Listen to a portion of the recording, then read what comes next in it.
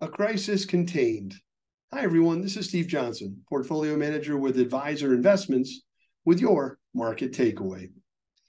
Investors were shaken several weeks ago by the quick demise of Silicon Valley Bank. And of course, people equate that with a 2008 like scenario. But as we know, this is unlike 2008. Back then, banks were saddled with bad loans caused by the disintegration of conditions in the housing market.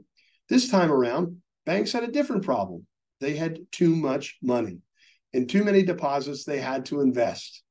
And they invested those deposits in US Treasuries. And because the Federal Reserve raised rates so quickly over the last year, the value of those treasuries decreased.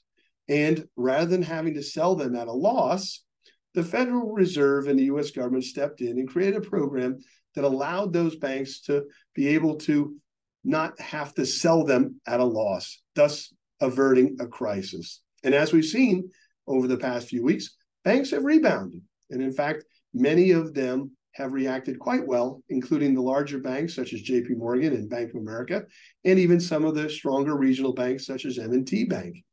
So with that crisis being averted for now, what should investors look at going forward? Well, as we know, inflation still remains high. The Federal Reserve has raised rates by 25 basis points last week, and there is some belief that they may even raise rates again in May.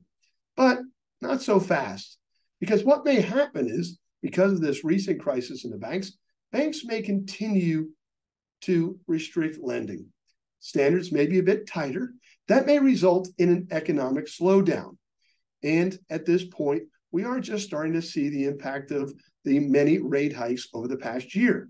So, if economic conditions continue to slow, we may also see inflation come down. That would be very good news for investors and also good news for the Fed because perhaps they don't have to raise interest rates going forward. And in fact, many people believe, including the Fed funds futures, which indicates whether the Fed will raise or not, many of those Fed funds futures are indicating that the Fed may even cut rates at the end of this year. So, what are investors to do? Well, you know, all of us here at Adviser Investments, we stress the impact of long term investing and also understanding that your portfolio meets your own personal goals and objectives. So, yes, of course, we will be watching the data over the next few weeks and we will keep you abreast of what we believe is happening in the market. But for now, know that this is not like 2008. Each crisis is different than the last.